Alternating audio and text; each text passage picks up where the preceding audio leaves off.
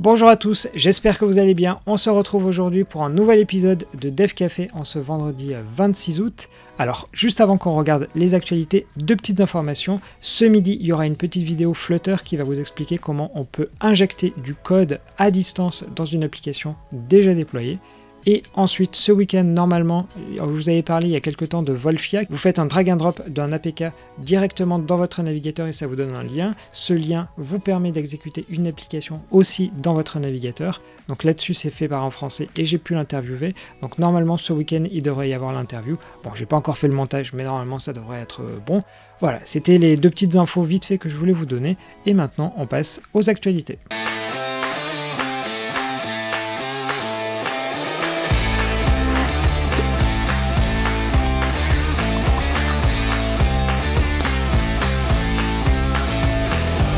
Pour commencer ces actualités, on est sur le site de CNBC. Alors bon, CNBC, c'est pas trop un site sur lequel on traîne en général, mais c'est pour tout ce qui est bourse et informations de ce type-là. Et en l'occurrence, on va s'intéresser à Salesforce. Donc Salesforce, ils ont racheté plein de boîtes, notamment Slack, et aussi une certaine boîte qui s'appelle Heroku mais ça c'était dans les années 2010. Et en l'occurrence, Heroku, ils viennent de publier un article, et je sais pas, mais vous savez, parfois rien qu'en lisant le titre, vous vous dites, Hmm, ça sent pas bon. Et là, c'est clairement le cas. Donc, pour leur futur, ils nous expliquent que bah, tout simplement, ils vont arrêter tout ce qui était gratuit chez eux et supprimer les comptes inactifs. Donc si toutefois vous connaissiez pas trop Heroku, c'était tout simplement la possibilité de déployer des applis web, c'était tout simplement la possibilité de déployer des applications web avec une version gratuite certes limitée, mais bon dans 90% des cas ça, ça passait sans aucun problème. Et bien donc ça c'est fini. Et ils indiquent quand même qu'ils vont continuer de supporter les étudiants et les associations à but non lucratif et également les projets open source. Mais bon, là-dessus, euh, est-ce que les étudiants vont vraiment vouloir aller sur un service euh, dont l'avenir, à mon avis, est un peu compromis? Pas sûr. Donc là-dessus, il donne un peu plus de détails sur les deadlines. Donc le 26 octobre, tous les comptes qui ont été inactifs depuis au moins un an seront supprimés. Et ensuite, le 28 novembre, toutes les offres gratuites seront supprimées d'une manière générale. Donc là-dessus, il y a une page FAQ, mais bon, je ne vais pas vous donner plus d'informations parce que là, tout est résumé. Mais bon, je sais pas vous, mais je pense que Heroku est en train de mourir parce que, bien, s'il n'y a plus de version gratuite, les gens qui étaient sur la version payante, est-ce qu'ils vont continuer d'y rester, sachant que Heroku faisait plus trop parler de lui ces derniers temps? Hmm, À mon avis, Salesforce euh, a dû passer derrière et a dit bon, ça on arrête. Ça m'étonnerait pas. Pour continuer, on va s'intéresser à un communiqué de presse. Alors je sais que d'habitude c'est pas vraiment ce qu'on a tendance à faire, mais c'est un communiqué de presse de Nokia. Alors ce qu'il faut savoir, Nokia, il y a deux entités. D'un côté il y a la partie réseau et de l'autre côté il y a la partie grand public qui fait des téléphones. Cette partie grand public, elle a été rachetée par une boîte qui s'appelle HMD et c'est euh, un fabricant chinois. Mais ça, ça nous intéresse pas. Nous, on va s'intéresser à la partie réseau. Et donc dans le fameux communiqué dont je vous parle, il est question de Nokia et de Google et ils viennent d'annoncer ce qu'on appelle du network slicing. Donc ça ça veut dire que un téléphone a la possibilité de se connecter à plusieurs réseaux en même temps. Et donc là-dessus, ça fonctionne autant en 4G qu'en 5G. Et l'objet de ce communiqué de presse, c'est pour annoncer que Nokia et Google ont réussi à se connecter à donc deux réseaux en simultané sur un Pixel 6 Pro qui utilisait Android 13. Donc là-dessus, ils disent qu'ils sont super heureux d'avoir réussi le test, mais c'est pas vraiment ce qui nous intéresse. Pourquoi? Parce que vu que ce test a fonctionné, en réalité maintenant ils, ils ont indiqué que ça allait être déployé à tout le monde. Et en l'occurrence, ils donnent quelques exemples d'utilisation. Le premier, c'est par exemple, vous êtes dans une entreprise, vous êtes sur le réseau public d'un côté, et pour participer à une conférence, vous êtes sur un réseau peut-être un peu plus sécurisé par exemple. Ou alors, vous êtes un particulier, vous avez le réseau public, et de l'autre côté, vous voulez faire du cloud gaming ou regarder des vidéos sur Netflix, euh, peu importe, et eh bien pareil, là-dessus, vous allez avoir un réseau dédié. Donc ce truc-là, c'est quelque chose qui est vraiment super intéressant.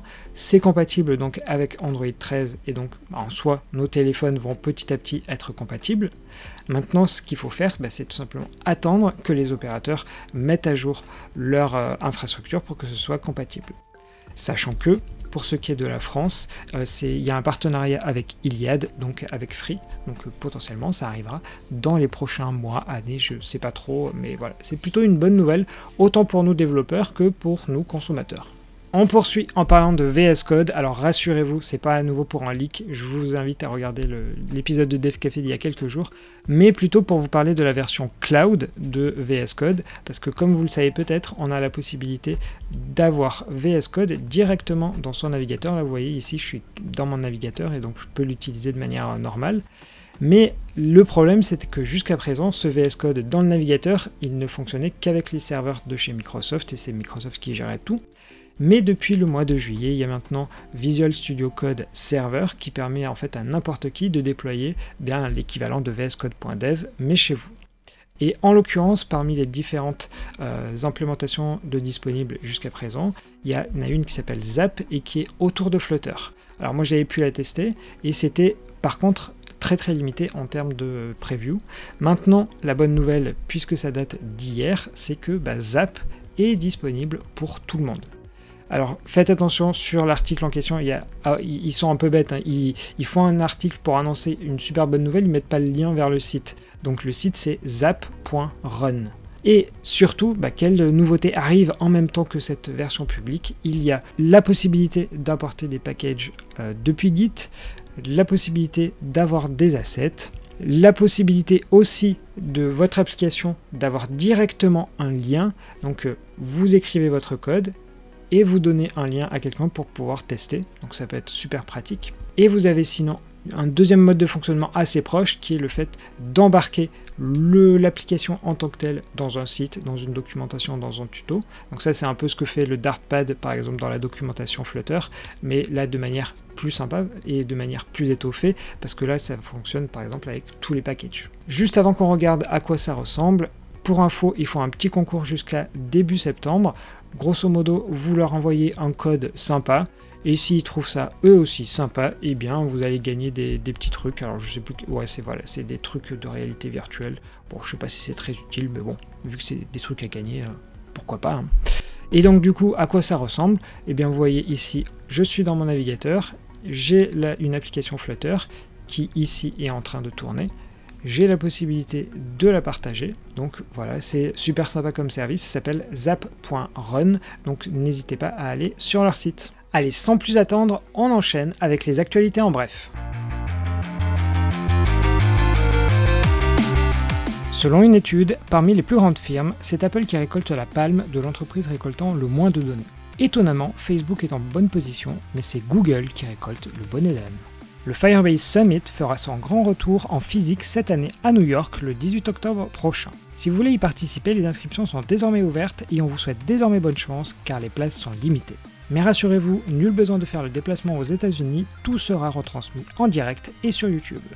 Du côté de chez Apple, voici un calendrier qui devrait vous aider à y voir plus clair sur les prochaines échéances. Le 7 septembre marquera l'introduction des nouveaux iPhones. iOS, tvOS et watchOS 16 devraient sortir entre le 12 et le 14 septembre, tandis que le 16 septembre devrait marquer la mise en vente des nouveaux iPhones. On change de camp maintenant pour passer chez Google qui vient de supprimer 2000 applications de prêt personnel en Inde. Dans le pays, ces applications font de véritables ravages avec des frais exorbitants et des manières de récupérer l'argent avec des méthodes parfois proches de la mafia. Malheureusement, ce genre d'applications repousse aussi vite qu'elles n'ont été supprimées. Fuchsia, le troisième système d'exploitation de Google, passe la seconde en accélérant son déploiement sur les Nest Hub Max. Cela fait suite au tout premier Nest Hub qui avait déjà fait la bascule il y a quelques mois déjà. Mais avec de tels investissements, on se demande toujours ce que Google veut faire de son système Fuchsia. On conclut par Android 13 qui a une toute nouvelle stack Bluetooth dont je vous laisserai essayer de prononcer son nom. Entièrement réécrite, elle est aussi plus complète que la précédente. Malheureusement, de mon côté, de nombreuses applications fonctionnent bien moins bien depuis. Pour ce dernier sujet, je vais vous parler de GitHub et d'un problème qu'il y avait. Alors pourquoi est-ce que je parle au passé? Parce que ça a été corrigé entre temps. Donc là, vous voyez, ici, ça a été publié il y a 10 heures, mais en réalité, euh, ça a été euh, corrigé très très très vite par l'équipe de GitHub. C'est affolant. Donc là-dessus, en gros, quel était le, problème? Donc vous forquiez un repo dont vous n'aviez pas les droits. Donc vous créez euh, une pull request en faisant des modifs dessus, et donc là-dessus ça crée une pull request, là-dessus tout à fait normal. Et cette pull request, vous n'aviez pas le droit de la merger, tout simplement parce que bah, le repo principal, vous n'en aviez pas les droits. Mais si dans votre pull request sur votre fork, vous supprimiez tous les commits pour revenir à l'état initial et donc être pile poil au même niveau que le git principal, donc ça voulait dire que votre pull request était vide désormais, eh bien à ce moment-là, si vous faisiez un git push force, eh bien côté interface utilisateur, côté GitHub principal, ça fermait donc la pull request, mais le problème, c'est qu'au lieu de la mettre en closed, ça la mettait en merged. Et c'était ça le petit souci. Donc là, ici, vous avez deux petits exemples. Vous voyez ici, la pull request était en merge, alors que là, la personne en question avait juste fait un force push vers l'état initial de, de la branche. Donc euh, voilà, là-dessus ça a été corrigé. Je vous montre en arrière-plan comment est-ce que tout ça maintenant fonctionne, parce que là je viens de faire le test et maintenant ça le met bien en closed à la place. Voilà, donc euh, ça aurait pu vous amuser pour faire croire aux mainteneurs que bah, vous aviez des droits sur les pull requests, mais au final, rassurez-vous, c'était juste un petit bug d'interface côté GitHub. Donc voilà, dommage, vous ne pourrez pas faire la blague aujourd'hui. Pour conclure, on va s'intéresser à un langage un tout petit peu vieux parce que ça s'appelle du Lisp. Alors je ne sais pas si vous en aviez déjà fait jusqu'à présent, mais sachez que vous pouvez en faire sur votre téléphone Android et ils disent même sur leur site qu'il n'y a même pas besoin de SDK Android. Alors pour ça, il faut utiliser Android 5 et avoir un processeur 64 bits. Pourquoi? Parce que tout simplement, il va falloir que vous téléchargez une application que eux appellent le kernel et qui est écrite en Java. Et dans cette application, en fait, il va y avoir une WebView qui va pouvoir donc interpréter le code en Lisp. Et donc tout ça fonctionne là selon le petit schéma que vous voyez ici. On va pas trop se prendre la tête sur comment est-ce que c'est fait ou quoi que ce soit. Donc la première étape que vous allez faire, c'est tout simplement télécharger l'application pour qui permet donc d'exécuter du Lisp. Elle est disponible soit sur le Google Play, soit via un APK ici directement. Côté interface utilisateur, comme vous le voyez, c'est pas terrible, terrible, mais bon, ça c'est pas le plus important. Donc là-dedans, soit vous allez pouvoir lancer ce qu'on appelle des zip euh, qui va contenir des fichiers .l qui donc est le code en Lisp. Sinon, vous allez avoir une deuxième possibilité, c'est donc d'écrire directement votre code en Lisp dans l'application. Donc là, vous voyez ici, je vous donne un exemple de à quoi doit ressembler un Hello World. Et une fois que vous avez fait ça, bah, vous pouvez même accéder à certaines API directement via une interopérabilité avec les API euh, Android et euh, les, API euh, Java. Donc voilà, c'est plutôt sympa si vous voulez vous amuser à faire du Lisp pour tester, ou alors même, vu que le langage est relativement, comme on l'a vu, assez lisible, si vous voulez par exemple montrer à des enfants comment on fait pour coder, bah, pourquoi pas utiliser ce langage. Bon, c'est pas le plus connu, mais bon, peut toujours servir. Et voilà, on va s'arrêter là pour aujourd'hui. J'espère que tout ça vous a bien plu. Juste avant qu'on se quitte, pour rappel, ce midi, il y a la petite vidéo Flutter qui vous explique comment est-ce qu'on peut mettre à jour une application à distance en, injectant du code. Et deuxième vidéo normalement ce week-end sur Volfia avec la petite interview avec l'une des personnes derrière et qui est d'ailleurs en français. Voilà, je crois que c'était tout ce que j'avais à vous dire. Surtout, n'oubliez pas de liker la vidéo si vous ne l'avez pas encore fait et à vous abonner à la chaîne parce que bien, comme ça vous serez informé des prochaines vidéos. Et moi je vous dis du coup bon week-end et à lundi sinon dans le pire des cas.